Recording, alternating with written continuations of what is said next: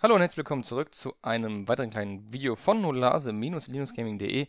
Ich bin Meldrin und zeige euch heute, wie man, also ich hoffe, ich zeige euch heute, wie man OpenLoco, also die freie Implementierung von Locomotion, Sid Meier's Locomotion, ähm, unter Linux zum Laufen bekommt. Das ist noch ein bisschen knifflig, das wird hoffentlich in naher Zukunft ein bisschen einfacher werden. Spätestens dann, äh, wenn ja, fertig gebaute Pakete schon zum Angebot äh, stehen auf GitHub oder wo auch immer.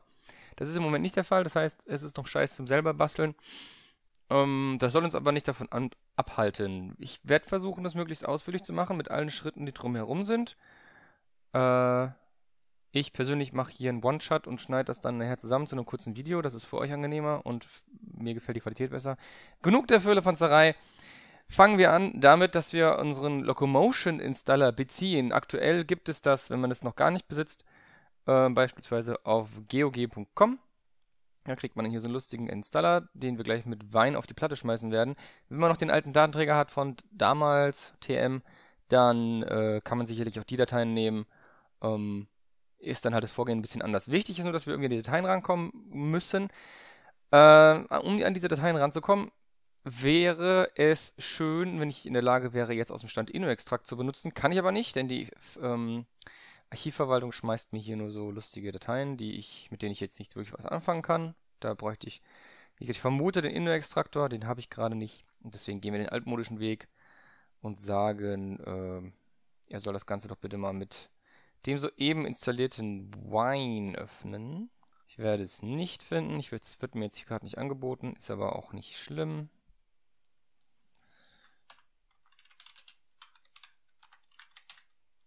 Machen wir es eben so.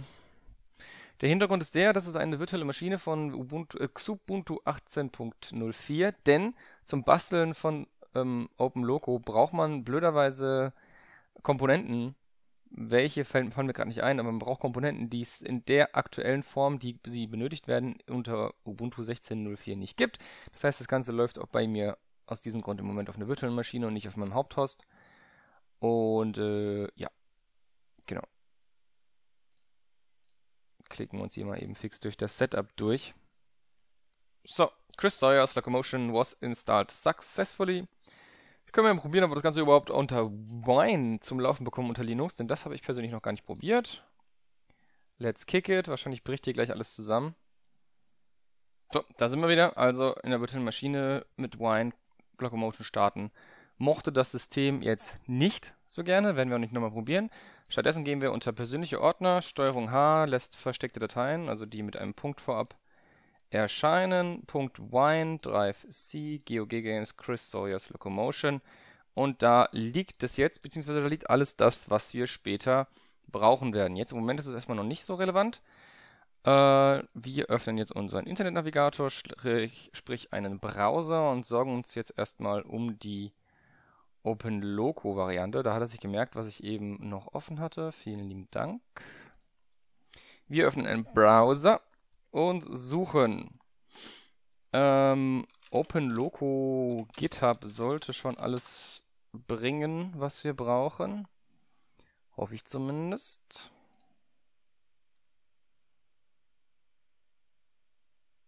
OpenLoco klingt richtig. Release. Wir entscheiden uns für die, in diesem Video für den Release. Man kann auch den Master Branch runterladen. Da hat vielleicht schon ein paar angepasste Dev, was auch immer, für sich. Das Ding ist jetzt sechs Tage alt, glaube ich zwar nicht so ganz, aber wir nehmen das mal so hin. Zur Auswahl steht uns zumindest unter dem Tag Release äh, eine Windows-Variante, die für uns völlig uninteressant ist, aber eben auch diverser Source Code, also das, was wir zum selber basteln dann brauchen. Die ZIP-Datei speichern. So, neuer Reiter. Komm her. Downloads. Da liegt es. Dann packen wir uns mal hier hin. So, jetzt sind wir hier quasi drin, zisseln uns noch ein Terminal dabei. Gut, dann gucken wir uns nochmal die Gebrauchsanweisung an, wie wir sie auf der linken Seite haben. Da wird uns auch gesagt, wo die ganzen Configs sind und so. Die Gebrauchsanweisung meine ich aber gar nicht. Ich wollte, wollte hier hin, genau. Also, was brauchen wir, damit das Ganze funktioniert? Natürlich erstmal die Daten, die Gamefiles, die haben wir uns schon besorgt. In diesem Fall von äh, GOG, gibt es wohl auch auf Steam. Ähm, unter Linux und macOS braucht man CMake, Make or Ninja, SDL2 und Boost.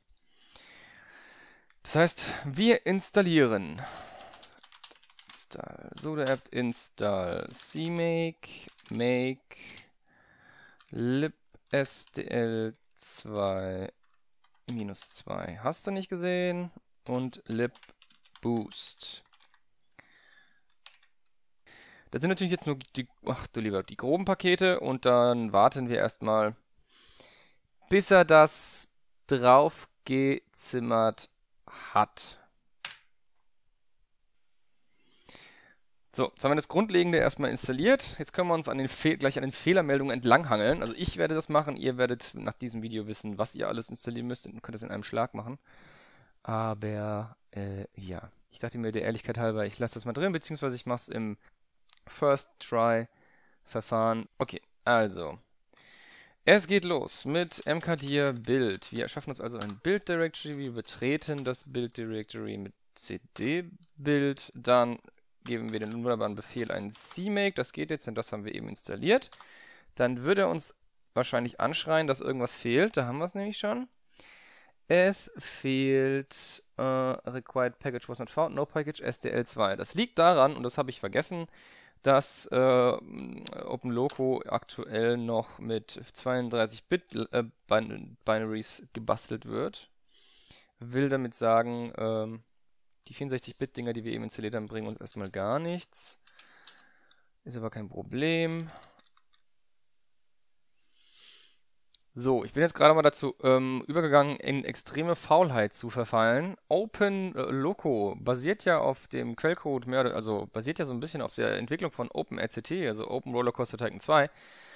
Und ich werde jetzt einfach mal so frei sein und so frech sein und mir die äh, erstmal dieses hier tun, überhaupt mal die 32-Bit-Architektur hinzufügen zum Basteln.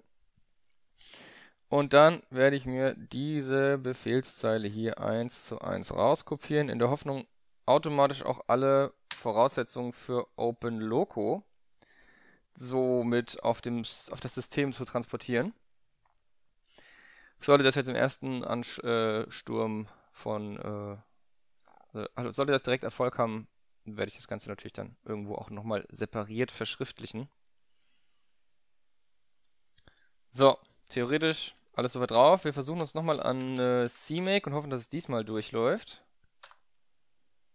Jo.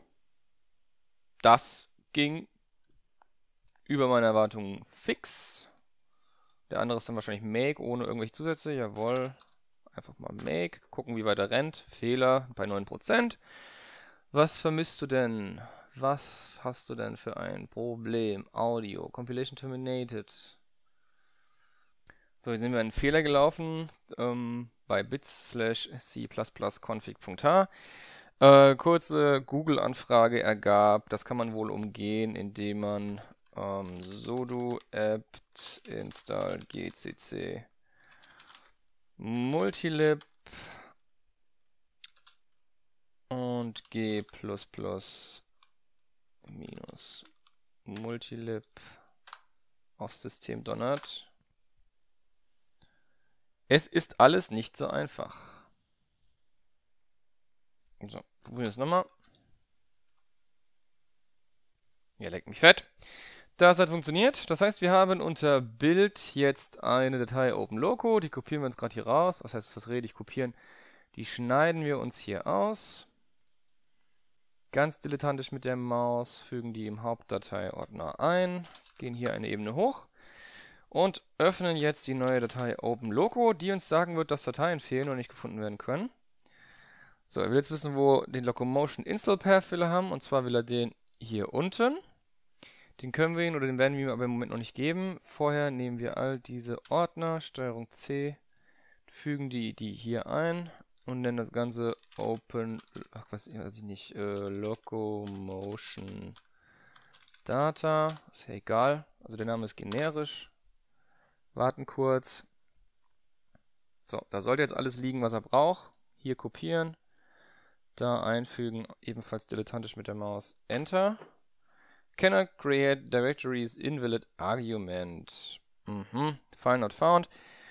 Home, Meldrian, .config OpenLoco. Ja gut, das ist kein Problem. Das schieben wir ihm auch noch unter. Wir sind da ja gar nicht so...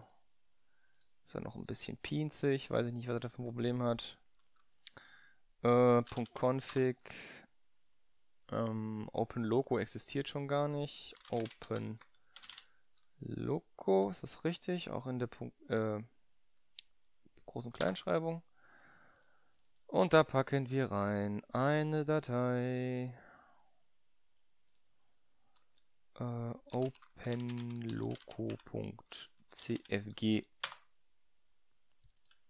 Geht es wäre wahrscheinlich auch mit Touch gegangen, oder? Touch Test.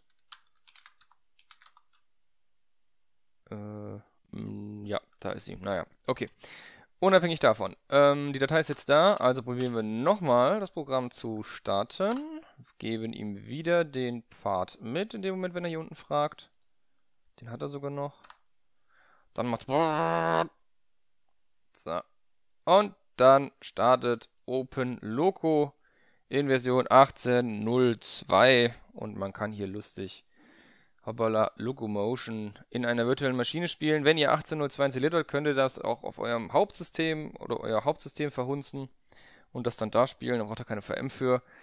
Und äh, ja, wie gesagt, unter 1604, habe ich 1802 gesagt? 1804. Unter 1604 ähm, hat das immer nicht funktioniert, weil er eine dieser Abhängigkeiten halt nicht installieren konnte, nicht in einer Version installieren konnte, die neu genug war für das Bauen des Titels. So. So, wunderbar. Gucken, ob wir es auch direkt zum Crash äh, provozieren können, indem wir versuchen, eine Straße dort zu bauen, wo bereits eine Straße ist. Nein. Aber egal. Irgendwann crasht es. Ist es noch nicht ganz so stabil, das sei hier an der Stelle schon mal gesagt. Ähm, aber zum Testen und zum Reinfuchsen, zum Ansehen und für den ersten Eindruck ist es schon mal quasi da und es ich persönlich finde es sehr schön. Ich würde mir wünschen, dass es stabiler wird, denn es sieht aus wie Rollercoaster Tycoon und spielt sich ein bisschen wie OpenTDD und Simutrans und da bin ich komplett zu Hause. Das reicht mir absolut.